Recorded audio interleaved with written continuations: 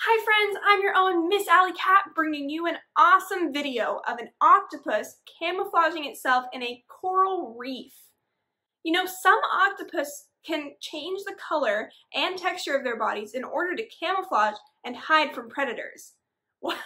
Look at that. That's amazing. Look at the texture of its skin changing to match its surroundings. Octopus can change its color and texture in the blink of an eye to either avoid predators or to hunt their prey such as small fish, crabs, etc. As it moves around on the seabed, it changes the coloring and appearance to match the surface beneath.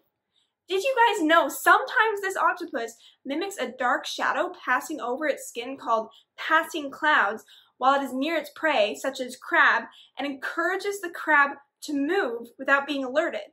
They are really clever indeed. Oh, please subscribe to our channel and share this video. See you next time.